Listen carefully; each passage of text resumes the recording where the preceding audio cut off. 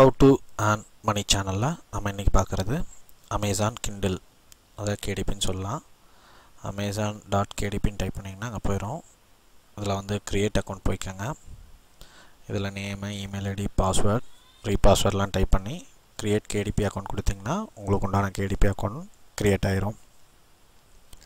அதுக்கப்புறம் லாகின் ஆனீங்கன்னா ஒரு ஓடிபி கேட்கும். ஓடிபி கொடுத்தீங்கன்னா இதுதான் அந்த பேஜ் அமேசானோட கேடிபி பேஜ் கிண்டில் டிவைஸில் வந்து பப்ளிஷ் ஆகிற புக்ஸ் எல்லாம் இங்கே தான் இருக்கும். இப்போ இதில் இதெல்லாம் நான் போஸ்ட் பண்ண புக்ஸு இதெல்லாம் நானே க்ரியேட் பண்ண புக்ஸ் தான். நீங்களும் கூட புக்கு க்ரியேட் பண்ணலாம். அதுக்கு எப்படி க்ரியேட் பண்ணுறதுங்கிறத தனியாக ஒரு வீடியோ வந்து கீழே லிங்க்கில் கொடுக்குறேன். அந்த லிங்க்கை பார்த்து எப்படி க்ரியேட் பண்ணுறதுன்னு கற்றுக்கங்க இப்போ இது மாதிரி புக்கை க்ரியேட் பண்ணதுக்கப்புறம் எப்படி போஸ்ட் பண்ணுறதுன்னு பாருங்கள் இங்கே கிண்டில் ப்ளஸ் அப்படின்னு இருக்கு இல்லையா? இதை வந்து கிளிக் பண்ணிங்கன்னா உங்கள் புக்கை வந்து பிடிஎஃப் ஃபார்மெட்டாகவோ இல்லை வேர்ட் ஃபார்மெட்டாகவோ நீங்கள் போஸ்ட் பண்ணலாம். பிடிஎஃப் வந்து ரொம்ப பெட்டர் இதில் போனீங்கன்னா என்ன லாங்குவேஜு அப்புறம் புக் டைட்டில் என்ன அப்புறம் பார்த்திங்கன்னா சப்டைட்டில்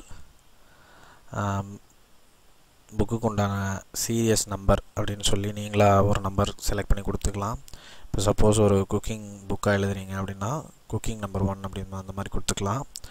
எடிஷன் நம்பர் ஒன்று அப்புறம் ஆத்தர் நேமு ஆத்தரோட லாஸ்ட் நேமு கான்ட்ரிபியூட்டர்ஸ் அதாவது ஆத்தர் வந்து டைரெக்டாக புக் போஸ்ட் பண்ணாமல் அந்த புக்கை வாங்கி கான்ட்ரிபியூட்டர்ஸ் நம்ம போஸ்ட் பண்ணலாம். அப்புறம் அதுக்கப்புறம் பார்த்திங்கன்னா டிஸ்கிரிப்ஷன்ஸு அப்புறம் பப்ளிஷிங் ரைட்ஸ் இது வந்து ஓன்னா ஓன் கொடுத்துக்கலாம். இல்லை ஆல்ரெடி நெட்டில் இருக்கிற புக்கை நீங்கள் போஸ்ட் பண்ணிங்கன்னா பப்ளிக் டொமைன் ஒர்க்குன்னு கொடுத்துக்கலாம். அதுக்கப்புறம் புக்குக்கு உண்டான கீவேர்ட்ஸ் அதெல்லாம் கொடுத்துட்டு கேட்டகரி அதாவது அந்த புக்கு என்ன கேட்டகரியில் வருதுன்னு நீங்கள் செலக்ட் பண்ணணும். ஃபிக்ஷனா நான் ஃபிக்ஷனா நீங்கள் தொள்ளாயிர கேட்டகரி ஏதோ இது ஏதோ ஒரு டாப்பிக்கில் உள்ள வந்துடும் அதனால் பார்த்து கரெக்டாக கொடுத்துக்கோங்க. அதுக்கப்புறம் ஏஜ் அண்ட் கேடர் ஏஜ் வந்து நீங்கள் கரெக்டாக செலக்ட் பண்ணி கொடுக்கணும். எந்த ஏஜ்லேருந்து எந்த ஏஜ் வரைக்கும் அந்த புக்கு வந்து ரீட் பண்ணுறக்குண்டான ஏஜோ அதை கொடுக்கணும். அப்புறம் யூஎஸ் யூஎஸ் கிரேடு நீங்கள் கொடுக்கணுன்னு அவசியம் இல்லை. அப்புறம் I am ready for release my book now அதை கொடுத்துட்டு கிளிக் கொடுத்திங்கன்னா புக்கு ரிலீஸ் ஆயிரும். இப்போ நான் ஆல்ரெடி புக்கு போட்டிருந்தேன் இல்லையா? அதோட ரிப்போர்ட்ஸ் காட்டுறேன் உங்களுக்கு. என்னோடய புக்கு சேல் இருக்கிறது காட்டுறேன். இதான் இங்கே பாருங்கள் இதில் ஒரு ரெண்டு யூனிட் வந்து எனக்கு சேல் ஆகிருக்கு இந்த சேல் இல்லாமல் கிண்டலில் பார்த்திங்கன்னா ரீடிங்க்கும் நம்மளுக்கு அமௌண்ட் கிடைக்கும். இந்த சேல் இல்லாமல் இப்போ பாருங்கள் கீழே காட்டுறேன். இதில் ரீடிங்க்கு இதுதான் ரீடிங் பேஜஸ் எத்தனை பேஜ் வந்து ரீட் பண்ணியிருக்காங்க எந்த டேட்டில் எவ்வளோ பேஜ் ரீட் பண்ணியிருக்காங்களோ அதுக்குண்டான அமௌண்ட்டும் நம்மளுக்கு கிடைக்கும். அதாவது நீங்கள் நிறைய புக் போடும்போது அந்த புக்கை ரீட் பண்ணுற கூட கிண்டல்லேருந்து நம்மளுக்கு அமௌண்ட் கிடைக்கும். இப்போ பாருங்கள் என்னென்ன கரன்சியில் வந்து எனக்கு கிடச்சிருக்குன்னு நான் சொல்கிறேன் இப்போ யூஎஸ்டிலேருந்து பார்த்தீங்கன்னா ஒரு அமௌண்ட்டு அப்புறம் பார்த்தீங்கன்னா ஜிபிபிலேருந்து ஒரு அமௌண்ட்டும் ஜாப்பனீஸ்லேருந்து ஒரு அமௌண்ட்டும் ஐஎன்ஆர்லேருந்து ஒரு அமௌண்ட்டும் கிடச்சிருக்கு. எனக்கு நாலு அமௌண்ட் கிடச்சிருக்கு.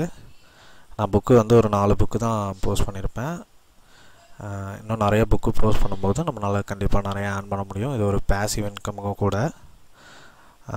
அதனால் நீங்களும் நிறைய புக் போஸ்ட் பண்ணுங்கள் இது பாருங்கள் எனக்கு விட்ரா ஆன அமௌண்ட் இது. இது கடைசியாக விட்ரா ஆனது.